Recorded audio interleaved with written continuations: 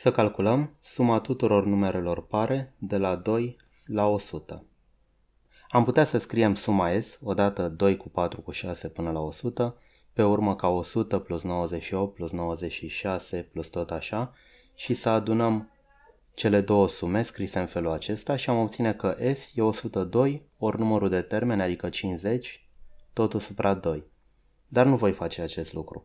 Cel mai rapid mi se pare să scriem suma S ca 2 pe lângă 1 plus 2 plus 3 plus tot așa până la 50. Fiecare termen e un multiplu de 2 și atunci îl dăm pe 2 factor comun. Deci suma S este 2 ori și am rămas cu suma primelor 50 de numere naturale, adică 50 ori 51 pe 2.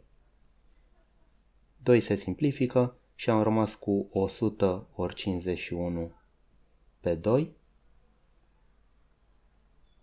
adică 2550. Destul de simplu.